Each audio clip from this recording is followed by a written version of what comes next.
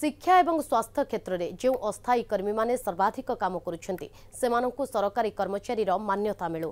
ଏହି ଦାବି ନେଇ ଆଜି ଓଡ଼ିଶା ମଧ୍ୟାହ୍ନ ଭୋଜନ ପାଚିକା ଏବଂ ସହାୟିକା ସଂଘ ପକ୍ଷରୁ ବିକ୍ଷୋଭ ପ୍ରଦର୍ଶନ କରାଯାଇଛି। ସରକାରୀ ନିୟମ ମୁତାବକ ବିଦ୍ୟାଳୟର ଉପସ୍ଥାନ ଅନୁଯାୟୀ ପାଚିକା ନିଯୁକ୍ତି ଦେବାକୁ ସଂଘ ଦାବି କରିଛି। ସେମାନଙ୍କୁ ନିୟମିତ ଦରମା ସହିତ ସରକାରୀ ଚାକିରିଆର ମାନ୍ୟତା ଦେବା ପାଇଁ ସଂଘ ଦାବି କରିଛି। ମାନ୍ୟବର ଜଜ୍ ମାନେ ପଞ୍ଚଷଠିରେ ରିଟାୟାର କଲେ।